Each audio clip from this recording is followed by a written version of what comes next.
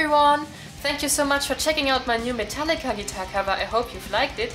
At this point I want to say special thanks to Lizard who helped me out with the video recording and also thank you so much for letting me play on your MGH Evil Butterfly, I dig this guitar.